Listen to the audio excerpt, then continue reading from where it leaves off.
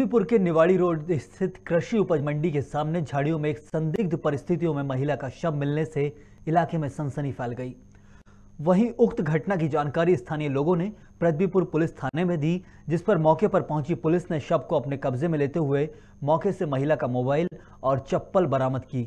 वहीं महिला की पहचान पृथ्वीपुर की आभा तिवारी के रूप में की गई, जो जेरोन के आयुष विभाग में पदस्थ थी।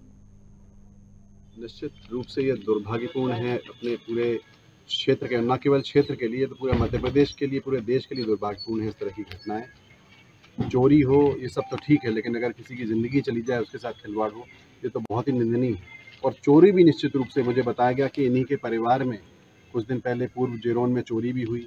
और अकेले इनके घर में नहीं पिछले डेढ़ दो महीने से लगातार पूरे पृथ्वीपुर नगर की बात हो, पृथ्वीपुर विधानसभा में चाहे मोहनगढ़ हो, चाहे दिगोड़ा हो, चाहे जेरोन हो।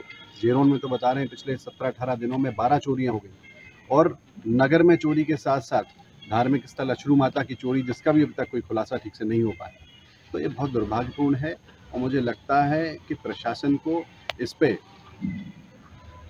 खुलासा इसका करना चाहिए और इसकी अच्छे से अच्छे तरीके से जाँच करनी चाहिए, क्योंकि ये बहुत दुर्भाग्यपूर्ण पूरे नगर के लिए है।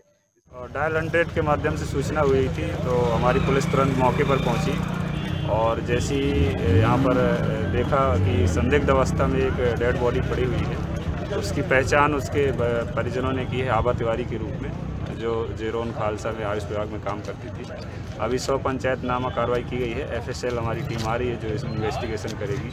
और बहुत जल्द हम लोग इसके उस व्यू पर जाएँगे कि कैसे ये घटना हुई और इसका आरोपी कौन है। सर महिला के शरीर पर चोटों के भी निशान पाए गए हैं। बिल्कुल प्रथम दृष्टया यही मालूम हो रहा है कि किसी न किसी तरह से ये मतलब किसी के द्वारा हत्या कारित की गई है।